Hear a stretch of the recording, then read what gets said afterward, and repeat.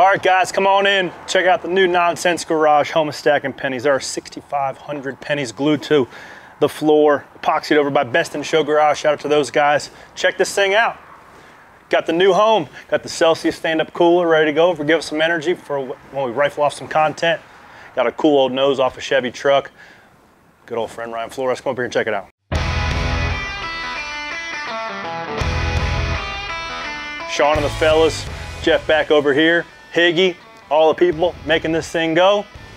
This, guys, is where all the stuff's coming at you. First episode's coming out right now. Go check it out.